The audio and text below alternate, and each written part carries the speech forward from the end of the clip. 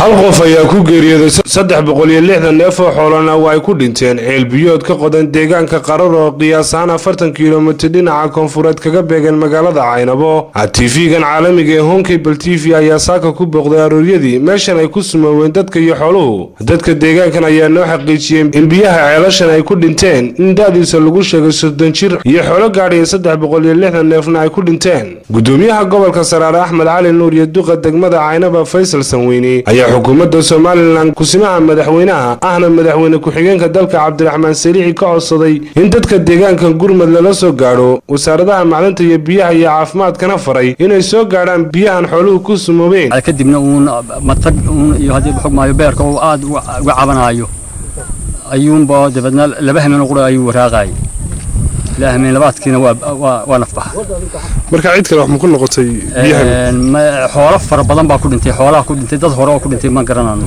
dad u xanuunsanaya iminka ma jiraan oo u wax jiifaan iminkaan wax ka saarano wax xanuunsanayaan ma jiraan laakiin de xoolo ilaa shan boqol oo neef ayaa ku baxay. Ceelkaa imika aan dul joogno run ahaantii iyo ceel kaloo isna ilaa iyo eh, konton mitir u jira oo isna meesha un ku yaalla oo isna agteeda ah.